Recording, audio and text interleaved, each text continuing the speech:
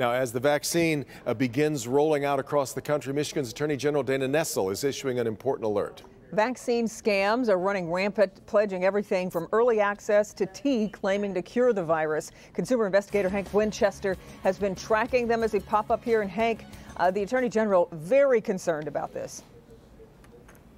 Kimberly, she certainly is because there is a big possibility that many seniors could lose big money or also share personal information. As we know, everybody has a great interest in the vaccine, and the scammers, they know it.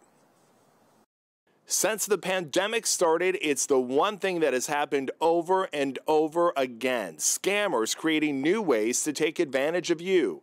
Whether it was price gouging or trying to sell fake tests, unfortunately, they've been successful.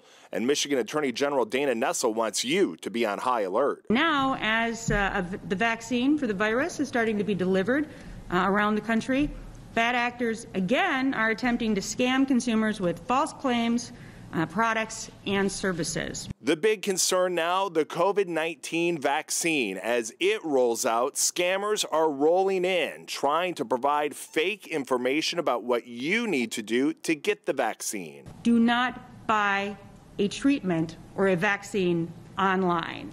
Uh, and always consult a medical professional um, and do not respond to text messages emails, or calls that offer you the vaccine. You will not have to pay up or provide personal information to get the COVID 19 vaccine. If you receive an email or a text message with this information, ignore it.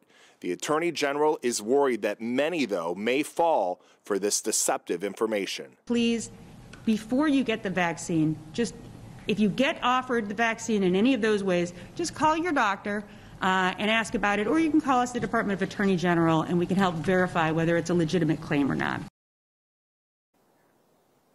And in talking with local police, we know that seniors in the city of Detroit have already been targeted. People in New York and LA also receiving this information. If you receive a text message, a call, an email that just seems strange, well, you should ignore it. Never provide your personal information and make sure that you report it to me and also to Michigan's Attorney General. The AG tracking these scams and wants to know what's happening, where, and when.